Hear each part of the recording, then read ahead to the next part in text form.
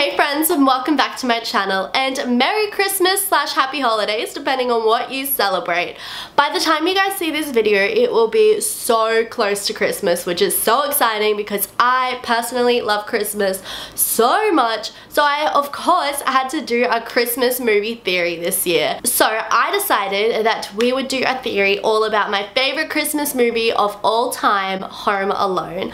So today we will be discussing the theory that Kevin McCallister McCallister's dad, aka Mr. McCallister, is a member of the mob. So if you are interested in that theory, then just keep on watching. So if you're a big fan of Home Alone like me, or if you're not a big fan and you've just seen the movie, you would probably notice that the McCallisters are extremely wealthy. They live in an amazing house in an amazing neighborhood and they have enough money to take the entire family on two holidays like it's nothing.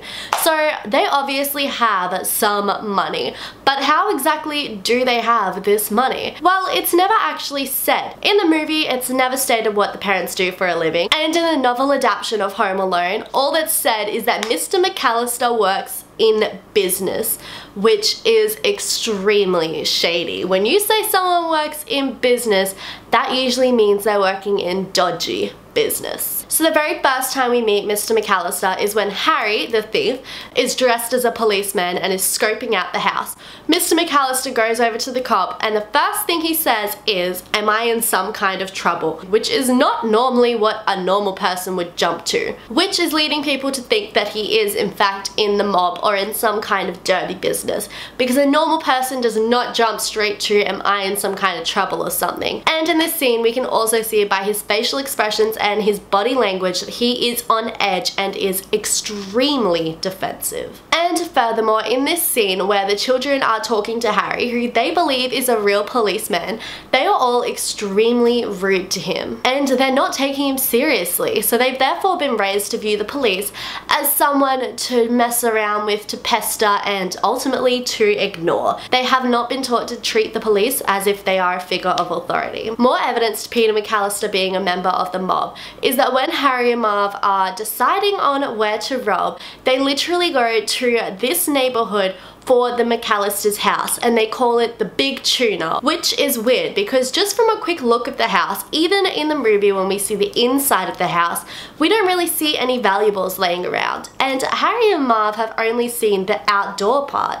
So why are they specifically targeting this house and literally only targeting this neighborhood because of the McCallister's house? So this could be a remnant of the original storyline where Uncle Frank actually orchestrated the robbery and told Harry and Marv to rob the house. This obviously is no longer the storyline in Home Alone, but it was originally. However, this storyline was scrapped pretty quick, so I don't believe that it is just a remnant of the original storyline because they wouldn't leave it in there like that.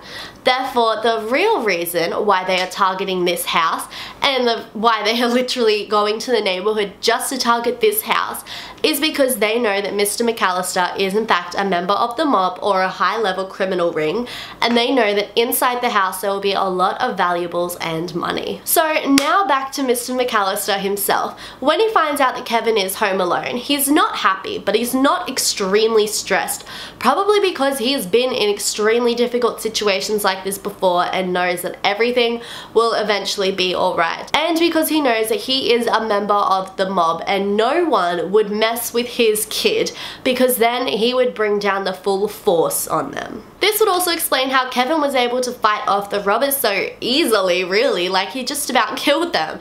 This is because Mr. McCallister, a member of the mob, had trained his family how to survive in these situations. Explaining again why Mr. McCallister wasn't too concerned when he found out that Kevin was home alone. Lastly, the McCallister family has some interesting family traits. Firstly, the mum is really emotionally cold who is always saying really mean things to her 8-year-old son. Buzz is a straight out psychopath, but it looks like he is actually being set up to follow in his father's footsteps. Uncle Frank is clearly a crook of some sort. Although he didn't orchestrate the criminal acts that went on in the movie, he definitely has a shady past just from the way he acts.